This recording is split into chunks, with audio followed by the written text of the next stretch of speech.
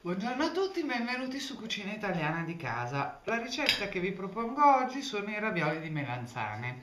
Melanzane che io ho già preparato trifolate con un pochino di aglio e prezzemolo. Naturalmente, grande protagonista la pasta all'uovo che è appena fatta e bella tenera, poi un po' di formaggio pecorino, un altro uovo e della ricotta. Mentre la pasta per i ravioli si riposa, noi prepariamo il ripieno. Dicevamo melanzane già trifolate e possibilmente fredde, così non impazzite, un uovo che servirà anche a dare consistenza, una buona dose di ricotta, per una melanzana 2-3 cucchiai di ricotta, dipende da quanto vi piace il formaggio, e il pecorino che naturalmente nel frattempo ho grattugiato fresco. Le dosi in questo caso vanno a gusto essenzialmente, però più o meno sono queste. A questo punto riduciamo tutto in crema col mio amico frullatore a immersione. Quando il ripieno ha raggiunto una consistenza che ci soddisfa, non ci resta che regolare di sale un po' magari ne serve anche se pecorino è saporito e un giro di pepe se piace. E poi andiamo a stendere la pasta per i nostri ravioli che la nostra pallina di pasta cominciamo ad infarinarla e a trasformarla in strisce sottilissime quale che sia la forma che desiderate dare ai ravioli infatti la cosa importante è che la pasta sia molto molto sottile. Le strisce devono essere ovviamente molto regolari altrimenti avremo poi grossi problemi quando dobbiamo riempire i ravioli e tagliarli nella forma che abbiamo scelto.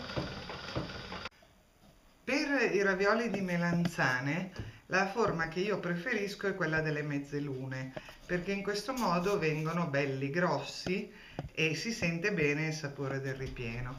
Taglio quindi la pasta utilizzando un coppapasta in modo da avere i cerchietti per fare le mezze lune.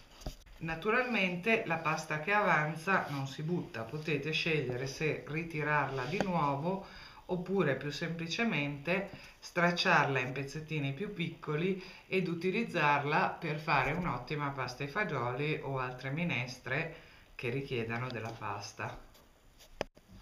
Andiamo a preparare i nostri ravioli. Oggi è una giornata molto secca, per cui spennello leggermente con dell'acqua o se volete essere ancora più sicuri con dell'uovo i dischetti di pasta che ho preparato. In questo modo non si asciugano troppo e si chiuderanno con più facilità.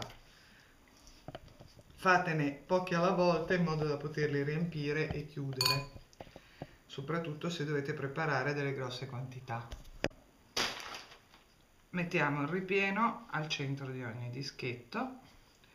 Se siete molto organizzati potete usare naturalmente anche la tasca per riempire i ravioli, se ne dovete far tanti vale la pena, altrimenti un cucchiaino si presta perfettamente. Un cucchiaino. I dischetti vanno poi chiusi a mezzaluna premendo bene sui bordi in modo che quando cuoceranno il ripieno non esca.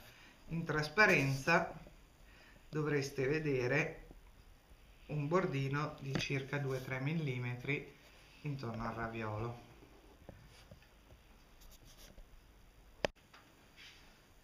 Più la pasta è sottile, più naturalmente questa operazione è delicata se non siete espertissimi potete magari lasciarla un pelino più spessa la prima volta.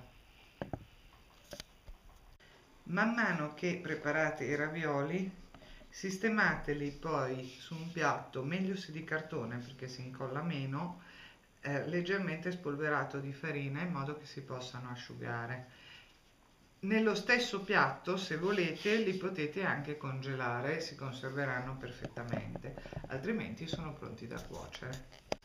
Con il ripieno che si ottiene con una melanzana bella grossa e tre uova di pasta, quindi tre etti di farina, otterrete ravioli per 6 persone.